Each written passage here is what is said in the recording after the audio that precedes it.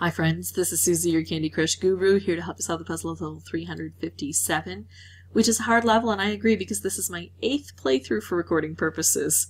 I've got to collect 18 ingredients, I've got 30 moves to do it. I've just got to get this down here. It's only two ticks, but that makes it tough because I can't make any moves in here quite often, and when I do bring things down, I'll also be bringing down these licorice swirls. Now the good news is that I only have four colors on the board, so it's easy to make specials like a stripe, or even a color bomb. So I'm going to have to rely on these to help me out. But those licorice swirls, uh, they don't respond well. So here I'm going to take out all orange. It's going to bring this down immediately. It's going to concentrate the colors and hopefully make more specials for me along here. Alright, that's looking good. Hmm, I've got my stripes set up in the wrong direction. Let's blow things up. When in doubt, blow things up because we can get some things created just by this motion here.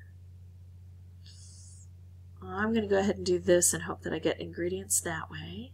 I can take out this licorice swirl. There we go. Finally we got that moving. Now it's easy to make specials, but it's not easy to line them up where we need them. That is a problem here. I've got this nice stripe and I could make a wrapped, but it's better to bring this stripe down. Uh, but I really want that stripe lower to give me the best opportunities. I can't even make any moves over here to get it green this way. Let's see.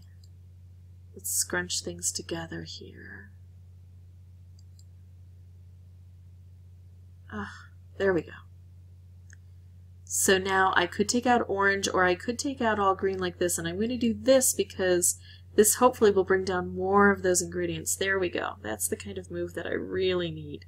Now it doesn't concentrate the colors down, it replaces all of the colors, but it gives enough chaos that we can sometimes get something else that's magical to happen.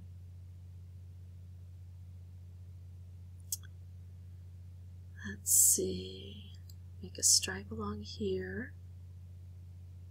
Ooh, striped wrapped combo. Striped wrapped combo will help with the ingredients and with those swirls. Now I always look and I can make a move directly in here that brings an ingredient down. Ah. Should I take out all orange, which will drop this down one, or all blue, which will drop this down, or wait and try to pair that up? It's in a tough spot. I'm going to take out all blue from the board. And then see what I can do here. If I do that, that's not going to help much. And it's just going to use up a turn. Oh, but no, now I've got that set up, so if I can just set this off, I bring that all the way down. So I will do that, and that is it. So on my eighth playthrough for recording purposes, I finally got this completed. He was getting close to my maximum of 10 before I consider bringing in boosters. So I hope you have better success than I did. If you're still struggling, booster up, baby. If you'd like to see more videos, you can subscribe, and as always, thanks for watching.